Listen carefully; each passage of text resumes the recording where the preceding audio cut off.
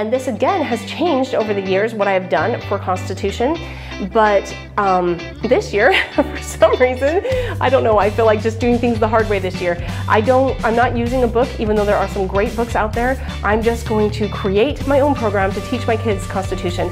My, hey guys, I have six kids and I have been homeschooling for eight or maybe nine years. I've lost track, but it, in the whole time that I've been homeschooling, some of the structure that I've found that I, I do all the time has really provided a lot of comfort to me that I feel like, look, no matter what else I mess up, I'm going to do this. And I found a quote once from the founding fathers that said, in your elementary instruction, you need to really be good on four subjects. And then once you get beyond that, you're going to kind of decide what you're really interested in and pursue that. So the four subjects that he said you should really really, really focus on are understanding the Constitution, understanding your own religion, um, history, and cultural literacy. And so I try really hard to hit all four of those. So for cultural literacy, that's why I read, I do family reads. That's I love it. I love doing family reads, but that's how I, I mark that off and say, yes, we are doing cultural literacy. We are definitely reading the books that uh, not only define our culture, but enable us to sort of talk with other people that everybody's heard of these books. And even if they haven't read them, they have an idea of what's in them. So that's what I do for Cultural Lit. Um, U.S. history, it changes every year what I do for U.S. history, but I do try to always cover some history so that we, we can just remember where we're coming from and where we're trying to go. That's a really important part of education in general. Um, your own religion. This is something that we work on. You know, we do scriptures as a family. We have goals that are oriented toward our religion, trying to live our religion, uh, go to church on Sunday, all of those things. We, we try to make, make sure that our kids understand our own religion. And the last one is Constitution. And this again has changed over the years what I have done for Constitution. But um, this year, for some reason, I don't know, I feel like just doing things the hard way this year. I don't, I'm not using a book, even though there are some great books out there. I'm just going to create my own program to teach my kids Constitution. My kids are eight years old and the up through about 13 is the age range that I'm really teaching this particular subject to. I do have some older kids, but they're just off doing their own stuff um, because they're older. And so since I'm going to do this, I'm just going to drop a video once a month and let you know what resources and what we're going to be covering to teach Constitution because a lot of you have asked, how do you teach Constitution? I feel bad because I know that a lot of you are saying, I have younger kids, how do I teach it to the younger kids? And the answer is, I don't know. I really just started teaching Constitution as the kids got older. Um, to begin with, the Constitution is just based on um, rules of treating other people well. So if your kids are learning how to share and how to um, understand that their role is to be the learner and your role is to be the teacher, that's the kind of stuff that's going to lead them to really understand the Constitution as they get older. Now, I'm my kids are old enough that I can teach the Constitution in uh, ways that they're just capable of understanding more stuff at this age, and so it's really time to be teaching them. But if you want to teach the Constitution, this is how I'm going to do it. You can do it this with me, or or maybe this just gives you ideas and you can kind of spring off and do your own thing from this. So here's what I'm doing. Um, again, I'm using the Well-Educated Heart um, outline for the year. And how she has done it is she's just broken down the entire American history into month segments so that you get to cover all the different um, parts of the American history. Well, if I'm looking at the Constitution through the eyes of the explorers, there's no Constitution. It doesn't exist yet. But the seeds exist there. And so you're able to, I, I, love this, that for the month of September, we're going to be doing a lot of looking at the different um, countries and the different governments that were in place that really fed into um, America and created a place where we, we saw what worked, we saw what didn't work, and we were able to create things that were really, really useful. Okay, so here's what we're doing. That is September. That's what we're going to be doing here. It's the exploration month. We're going to be focusing on the people who came before and what they did to to really inspire and give us information to see how to create a great constitution. Um, I'm going to be looking in the book 5,000 Year Leap by Cleon Skousen. And in that book, he talks about how the Anglo-Saxons and the Roman Empire both had different parts of their government that were super important, that were leading up to and informing what kind of a government that we had. So one of the things that the Anglo-Saxons did really, really well, and I think he says the children of Israel as well, um, that they had representation.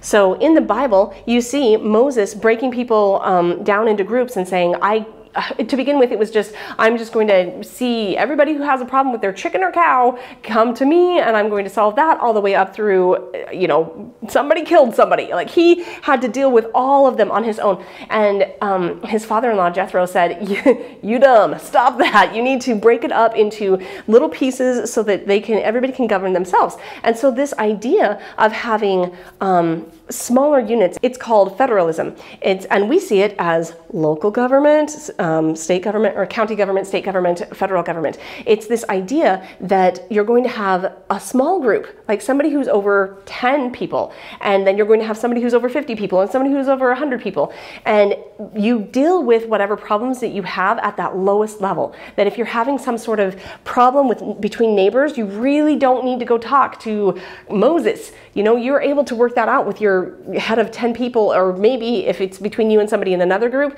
then you'll have to go to the head of 50. But it set up that idea of how to break down a society into smaller groups so that they can govern themselves and sort of move up as they need to interact with each other in these other groups without being a completely different nation which we've understood how to break nations down into different different countries all over the place. We can do that no problem. But then they have wars with each other, and that is a problem. And so this allows people to be broken up in their own units and solve their own problems without being separated from each other by some sort of national boundary. We are still connected. We're just able to solve problems on a smaller level. And so that's something that the Anglo-Saxons and the Israelites really um, did that informed our Constitution.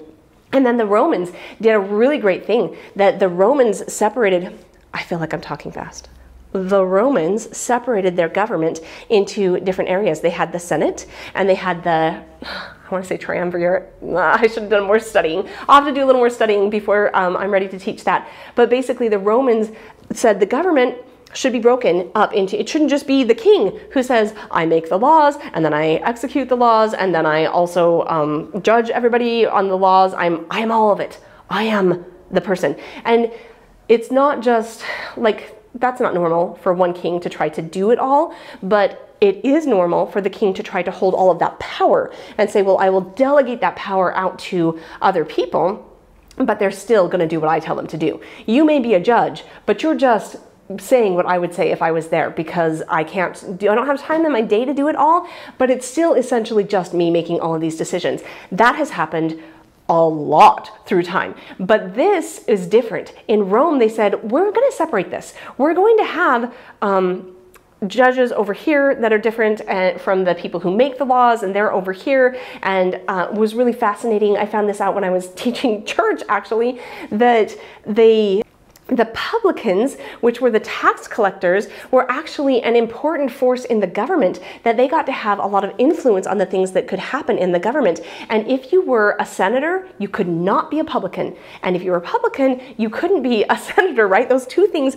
were separated so that the senators, or sorry, the senators over here had the power to make the laws, but the, um, the publicans were the ones who were really influential in saying, well, these are the people who get the contracts and these are the people that um, get to determine how we're going to use those laws. they, they were kind of the executors of the law. And a lot of the senators didn't like that, that they wanted all of the power for themselves. And that did actually happen in Rome, that they the power sucked to them and then that mm, then they collapsed that you don't want the power to all be in one branch but the point is that Rome was one of these great influencing factors that they showed us how to divide into different segments. So that's one of the things that we're going to cover. In addition, we're going to talk about the different areas of the world that experienced a lot of freedom themselves long, long before America became a country. Holland was very free and they were fighting for their freedom against oppressive nations. We will be reading about that. This is a Library of Hope book. It, it, and I'll put the link down below. Oh, that's gonna be a lot of work. I will do it for you. Um, the World Story, Volume 2, U.S. Colonies in the Netherlands from page 275 to 320. That's a big read. So actually, I think what I'm planning on doing there is breaking that up into the, the four different weeks that fall in September. So this is the whole month of September. And I didn't really divide this one out the way that I did with science. I just kind of said, we're gonna, we're just gonna go and do stuff. So if I really feel like, let's just work on Holland Freedom today, and, and that's all we do for that day. And then another day we'll talk about Rome and then we can do it that way. So I'm kind of saying this is what we're doing in the month. You can divide it however you want, but probably I'm going to divide that one into four different reads because that's a lot of reading. Um, and then also we're going to be getting into the Renaissance because the Renaissance was not just an artistic Renaissance where they started saying, "Hey, this is a great idea and we can we can create depth in our in our paintings and everything." It was a, Renaissance in all the different areas. There was such a Renaissance of ideas and freedom. Um, so we're going to be reading the World Story, which again, this is a Libraries of Hope book, um, volume 16, Rome and Italy, pages 51 through 76, and that's going to give us kind of an insight into the freedoms and the idea of freedom freedom that are really coming from this place of, um, I mean, there's so much freedom that's happening then. The freedom that used to, with all the different artists, they used to have their guilds and they said, don't, we don't share our information with any other guild. We're very locked down. This is very much just us and just everything that we're going to do. Um, and, the, and during the Renaissance, they broke that open. They said, we're not going to have guilds anymore. We're just going to share this information. And it was eye-opening and mind-blowing for so many people that it was, you are using paint in that way. I never even knew that you could use paint in that way. And so everybody, you know, all the boats went up with the tide and it just became so much better. Everybody improved and not just in art, in all sorts of areas of the um, learning and uh, freedom and everything. And so we're going to be uh, learning about that I don't know if you can tell, but this is one of my loves. It's one of my passions. I love freedom. I love the ability that we have been given to be free and the importance that it that we have to be able to maintain that freedom through being aware of what it is, where it came from, and how we need to live to uh, continue keeping it. So that September, I will catch you guys in one month and I will let you know what we're going to be doing for October to study the Constitution. You are doing really, really important things as a mom, as a dad. I mean, specifically about teaching the Constitution, where else is this going to happen? Who is teaching the Constitution anymore? This is kind of unique. So if you're doing this, this really, really matters. This is powerful stuff and you're doing a much better job than you think you are. And if you have any other ideas about how you want to do this, we put it in the comments because I'm always open to ideas and incorporating new things. Uh, thanks so much and I'll see you on the next one.